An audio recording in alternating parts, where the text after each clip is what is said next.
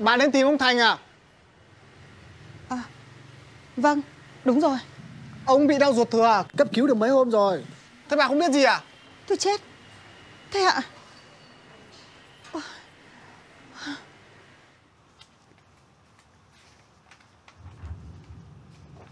Bác còn chưa khỏe hẳn Sao không ở thêm một vài hôm nữa rồi hẵng về Có ở thêm một vài hôm nữa ấy Cũng chẳng để làm gì Nếu cần nghỉ ngơi thì tôi về nhà tôi nghỉ ngơi. Cô nói khó với bác sĩ. Cho tôi xuất viện sớm nhé. Cảm ơn cô.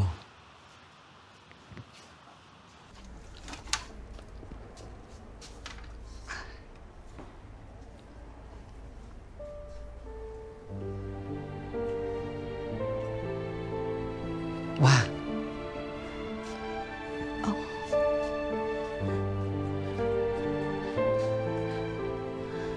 Ông có còn đau không? Sao không báo gì cho tôi biết thế hả? Không Bà lo cho tôi làm cái gì? Bây giờ tôi khỏe rồi mà. Đấy nhá bà xem nhá. Bác ấy vẫn còn yếu lắm Nhưng nhất quyết cứ đòi ra viện.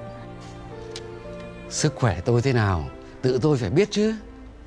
Thôi Cô cứ đi lo thủ tục giúp tôi đi. Cảm ơn cô. Dạ vâng ạ. Nào Bà ra đây.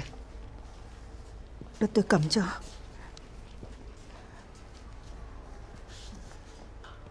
Thế sao bảo là Bà về quê rồi Thì thì tôi vẫn ở quê mà. Hôm nay có việc lên Hà Nội. Lên tôi đến thăm ông rồi tôi lại đi về quê. à, tôi vừa nghe cô y tá nói như thế. Ông cứ nặng nặc đòi ra viện là không được đâu. Ông đừng chủ quan như thế. Bây giờ mình có tuổi rồi, có như hồi trẻ được đâu ông. Bà có gì giấu tôi phải không Đang yên đang lành Đùng cái lại về quê Ở trên này thì Có nhà có cửa Có con có cháu Tôi có giấu ông cái gì đâu. À, mà tôi nghe lời ông cũng như con Hồng. Tôi dẹp cái quán nước ấy rồi. Về quê sống cho nó thoải mái. Ở quê, không khí trong lành lắm. Ăn cái rau ở bờ mương hái về cũng ngon. Rồi chị em được gặp nhau. Họ hàng nữa. Bà nói thế cũng phải Ở quê mà vui vẻ thế Bà cứ ở đấy mà chơi Khi nào mà nhớ con nhớ cháu ấy Thì mình lại về Đúng không bà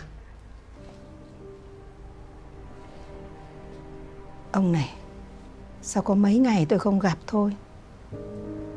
Mà ông để mình tiểu tụy đến như vậy. Biết là ốm đau bệnh tật, thế nhưng mà ông phải chịu khó ăn uống bồi bổ vào chứ. Sao lại để thế?